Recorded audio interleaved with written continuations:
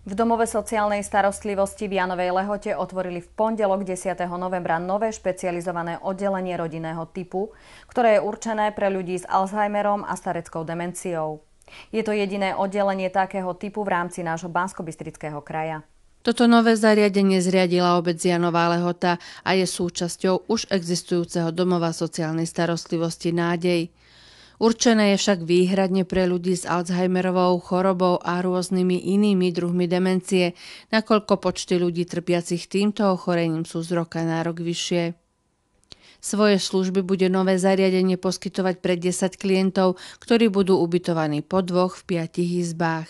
V čom sa vlastne líši starostlivosť ľudí s Alzheimerom a o takých eh, bežných ľudí, ľudí ktorí máte vlastne v DSS? Zariadenie poskytuje takú špeciálnu starostlivosť, ktorú vyžadujú títo ľudia. Napríklad je tu všetko e, určované cez symboly. Je tu, sú tu izby, ktoré sú rozdelené podľa farieb, aby to bolo pre nich prehľadné a všetko vlastne sa bude diať cez symboly, im zrozumiteľné, aby vlastne sa tu vedeli orientovať. Všetci zamestnanci, ktorí sa tu budú podielať a ktorí tu budú pracovať, musia byť špeciálne vyškolení, takže od upratovačky, udržbára, cez, cez opatrovateľky a terapeutických a sociálny, sociálnych pracovníkov musia byť všetci vyškolení. Pre prácu s Alzheimerovými klientami. Bude ich tu 10, eh, budú ubytovaní v takých bunkách po dvoch a v tejto bunke majú vlastne taký samostatný bytík, kde sa vlastne oni nestratia, čo je pre nich veľmi prínosné, pretože tam majú svoju izbu, svoje sociálne zariadenie, viace kúpeľňu a dokonca svoj šatník, takže nemajú kde zablúdiť, aby som to tak povedala. Prví klienti zariadenia budú práve z pôvodného domova sociálnej starostlivosti Nádej. Ďalšie miesta budú ponúknuté novým klientom. Určite môžu posielať žiadosti, pretože ešte nemáme konkrétnych ľudí vybratých, takže ešte, ešte áno, môžu.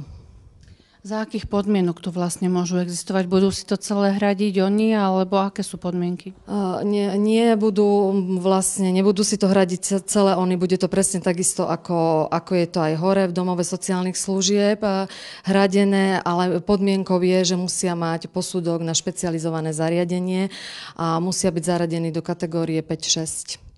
E, vieme teda aj povedať, čo bude treba z rodinu stať mesačne takýto pobyt? Viete, čo to je veľmi individuálne, ale momentálne to bude okolo tých 350 eur. V štýlovej a pekne zrekonštruovanej budove zariadenia Nádej v Janovej Lehote nájde svoj nový domov 10 ľudí trpiacich degeneratívnymi ochoreniami mozgu.